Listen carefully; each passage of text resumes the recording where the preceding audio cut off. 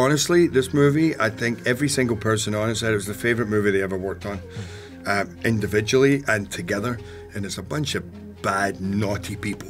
So everybody was always getting everybody else into shit, you know. And and uh, it was it was just a great set to be a part of. And then we had Atlanta as a backdrop.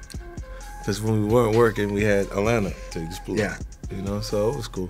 Robin, the, the Pico Rivera, it's a pretty cool scene. You know, uh, we got to have the, the, the cool uh, ski masks and, and all that and be in, in, full gear and everything. For me, the final the final shootout with Gerard, the, the you know the last gunfight scene between he and I was a tough scene to shoot physically, just a lot of action, a lot of running, jumping over fences and running through, through trash places was not the best. That was our infamous corridor scene. Yeah. we trained a lot for that scene. All, whole movie's about that scene. all of the build up and all the training was for that corridor scene where we kind of moved tactically. We spent so much time learning this like military move where we would peel out uh, a center peel, it's called. That was eight days of pure action, you know, where we fired us something like 350,000 rounds of, of bullets, you know, between all of Yeah. us. It will be one of the biggest shootouts in film history. What's great is, as we've talked about, how much you climb into these characters and the truth and the complexity and the authenticity, so you're with them.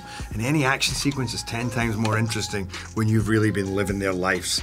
And this is that showdown and it's coming together. What I love as well is with the audience is they're kind of with the good guys and they're with, the bad guys because you love the bad guys and you understand them. And there's a lot about the good guys you don't love, but you understand them all, so you're with them through this chase. And it does feel really like an end to an epic saga.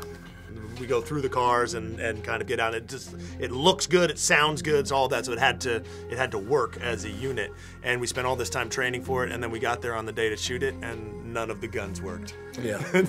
all the guns jammed, and so we spent the day that we were shooting the corridor scene pretending to shoot rather than actually shooting, which is a little anticlimactic. but uh, bang, bang, bang, bang. Um, you know, we got through it. Oh, none at all. No, no. well, that was the cool part. You know, I definitely was excited for uh, most of the the months shooting, waiting for the driving scene, and then uh, yeah, they said Shea, you're gonna be on the flatbed of this truck in the Mustang with Pablo throwing your body around. 25, 30 miles an hour. You know, uh, left. You know, just throwing our bodies around. So I mean, it was a cool bonding experience with my man Pablo. Obviously, we don't have real bullets in the guns. That's kind of the difference between uh, Real loud. real life and, and fake movie set. But it is very loud and it feels visceral, like Yeah. it does in the movie when you have all the, the sounds there.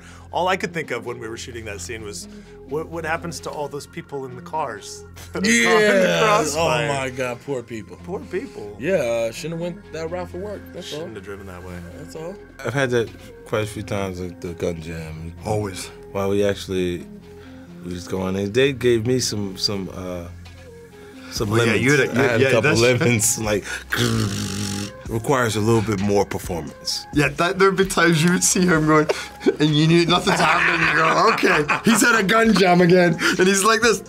Oh yeah, I'm gonna keep going. I'm gonna keep going. I'm gonna shake my gun a little bit more. Oh no, no, that those are all real tattoos. Yeah, what do you Every mean? one Had of them. Every single. You want to see?